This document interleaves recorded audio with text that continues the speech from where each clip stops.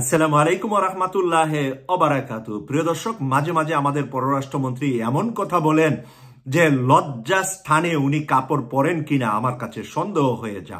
যে এত নিলজ্জ কথাবার্তা উনি বলে ফেলেন বাংলাদেশের মানুষকে, এত বেশি আত্মঘাতীতে নিয়ে যান ওনার কথার মধ্যে। সেই কথাগুলা যদি আজকে আমরা সিলেটে একটি অনুষ্ঠান উদ্বোধন করতে গিয়ে উনি কি বলেছেন আপনারা যদি শুনেন এবং এর বিস্তারিত আমি একটু তুলে ধরার জন্য আপনাদের সামনে চেষ্টা করছি মাত্র। আমেরিকার চেয়ে ভারত ভালো, পররাষ্ট্রমন্ত্রী। প্রিয় দর্শক, আমেরিকার চাইতে ভারত ভালো এই মুহূর্তে, এই সময়ে আমেরিকার সাথে ভারতের সংঘাত লাগিয়ে বাংলাদেশ কি ফায়দা নিতে চা পররাষ্ট্রমন্ত্রীর এই বক্তব্যে আমরা জানতে চাই যে আমেরিকা বাংলাদেশের জন্য যা করে রেখেছে এবং করছে এবং ইতি পূর্বে বাংলাদেশকে যেভাবে বিভিন্ন সেক্টরে অনুদান দিয়ে বাংলাদেশের উন্নয়নে কাজ করেছে, ভারত সেই অনুপাতে কি অনুদান দিয়েছে? আমাদের প্রধানমন্ত্রী যেখানে বলেছেন, আমরা ভারতকে যা দিয়েছি তা সারা জীবন মনে রাখতে হবে। সেখানে পররাষ্ট্রমন্ত্রী নীলজ্জকের মতো কি করে বলে, আমেরিকার চাইতে ভারত আমাদের বেশি ভালো আমাদের জন্য। প্রিয় দর্শক, সিলেটের একটি অনুষ্ঠানে উনি গত রাতে যেই কথাটি বলেছেন, আমেরিকার চেয়ে ভারত ভালো বলে মন্তব্য করেছেন পররাষ্ট্রমন্ত্রী ডক্টর এ কে আব্দুল মোমেন। বৃহস্পতিবার পাঁচই অক্টোবর সন্ধ্যায় সিলেটে চার দিন ব্যাপী ভারত ফ্রেন্ডশিপ সংলাপের উদ্বোধনী অনুষ্ঠান শেষে সাংবাদিকদের এক প্রশ্নের জবাবে একথা বলেন তিনি। ভারত বাংলাদেশের ফ্রেন্ডশিপ অনুষ্ঠানে সিলেটে করেছেন আবার সেখানে গিয়ে তিনি বলেছেন, ভারত বাংলাদেশের জন্য আমেরিকার চাইতে বেশি প্রিয় বন্ধু এবং অনেক বেশি উপকার এবং অনেক বেশি কাজ ভারত বাংলাদেশের জন্য করছে। পররাষ্ট্রমন্ত্রী বলেন, ভারত প্রতিদিন পাঁচ হাজার থেকে নয় হাজার ভিসা দিচ্ছে।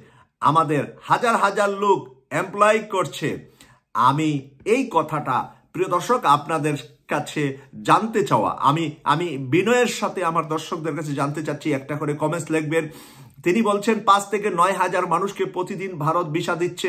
আমি বিশ্বাস করছি একশো পার্সেন্ট আমাদের দেশের মানুষ চিকিৎসার জন্য প্রতিদিন সবার পরিবার থেকে কেউ না কেউ ভারতে চিকিৎসার জন্য গিয়েছে। আপনাদের, আমাদের সকলের আত্মীয় স্বজন যখন দেশে কোনো ভালো চিকিৎসা নাই, তখন দক্ষিণ ভারতের কিছু হসপিটালে আমাদের দেশের লোকেরা গিয়ে চিকিৎসা নিয়ে আসেন এবং এই কারণে অনেক অনেক ডলার আমরা ভারতে গিয়ে খরচ করতে হয় চিকিৎসার কারণে।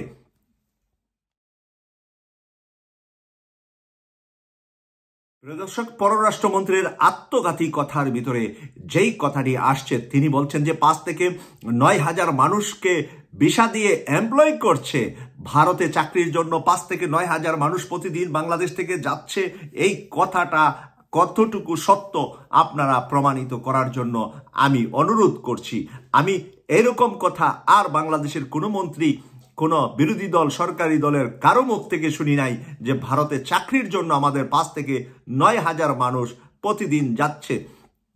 কিন্তু তাদের এত জনবল নেই মানে ভারতের এত জনবল আমাদের দেশে নেই বা আমাদের দেশে চাকরি করতে আসে না, সেটাই উনি বোঝানোর এখানে চেষ্টা করছে। অপরদিকে উনি বলছে, আর আমেরিকা বছর খানেক লাখে শুধু অ্যাপার্টমেন্ট নিতেন, সেই হিসাবে ভারত অনেক সুবিধা দিচ্ছে। আমেরিকা বছরে এক লক্ষ মানুষ বাংলাদেশ থেকে ভিসা দিতেন এবং নিতেন, সেই হিসাবে ভারত অনেক বেশি দিচ্ছে। প্রিয় দর্শক, ভারতে যাই আমরা টাকা খরচ করতে, আমেরিকা যাই আমরা টাকা রোজগার করতে। একটা হলো রেমিটেন্স আনতে যাওয়া, আরেকটা হলো আমাদের রেমিটেন্স নিয়ে সেখানে খরচ করা। দুটা জিনিস এক কি করে হয়? এবং এই ধরনের মানুষ যদি রাষ্ট্রের এত বড় দায়িত্বে থাকে, তাহলে রাষ্ট্র আগামী দিন কোন দিকে চলে যাবে? এই ধরনের মানুষদেরকে যে মানুষ অনেক মন্দ কথা বলে, যে এইটা সেটা পররাষ্ট্রমন্ত্রীর নামের সাথে বহু টাইটেল মানুষ দিচ্ছে, এবং নানা মানে ছোটখাটো মন্তব্য ওনার নামের সাথে মানুষ করছে। কারণ কি? কি কারণে? এই শিক্ষিত, এই মেধাবী পরিবারের সন্তান তারা, তা ওনার বড় ভাই এদেশের অর্থমন্ত্রী ছিলেন, বড় ভাই আন্তর্জাতিক অঙ্গনে চাকরি করেছেন, উনি আন্তর্জাতিক অঙ্গনে চাকরি করেছেন। ওনার পরিবারের সকল সদস্য আমেরিকার নাগরিক, উনি উনি নিজে আমেরিকার নাগরিক। কিন্তু আজকে আমেরিকার বিরুদ্ধে যে কথা উনি বলছেন, এটি ওনার নিজের কথা নয়, এটি শিখানো কথা আমরা জানি। কিন্তু এই শিখানো কথা বলতে বলতে একদিন ওনার পায়ের নিচের মাটি খসে যাবে কিনা, সেটা এখন ওনার সময়ের বিষয় এবং চিন্তার বিষয় হওয়া উচিত বলে আমি মনে করছি। আমি মনে করছি পররাষ্ট্রমন্ত্রীর মতন এই বিজ্ঞ মানুষটা এই ধরনের হালকা কথা বলে দেশ এবং জনগণের সামনে উনি যেন উপহাসের পাত্র আর না হন। কারণ মন্ত্রিত্ব উনি একবার পেয়েছেন, আরেকবার পাবে কি পাবেন না, জীবনে আরেকবার মন্ত্রী হবেন কি হবেন না, তার কোনো গ্যারান্টি নাই। কিন্তু উনি যতদিন বেঁচে থাকবেন বা ওনার মৃত্যুর পরেও মানুষ যেন উপহাস না করে, সেই জন্য আমি বিনয়ের সাথে বলব যে দেশকে ভালোবাসুন, দেশের মানুষের আওয়াজ, কণ্ঠ, হৃদয়ের কণ্ঠ শোনার জন্য চেষ্টা করুন।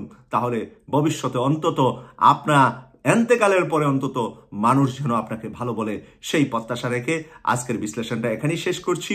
ইউকে কসবা টিভিকে সাবস্ক্রাইব করে আমাদের পাশে থাকার জন্য সবাইকে আমন্ত্রণ জানাচ্ছি।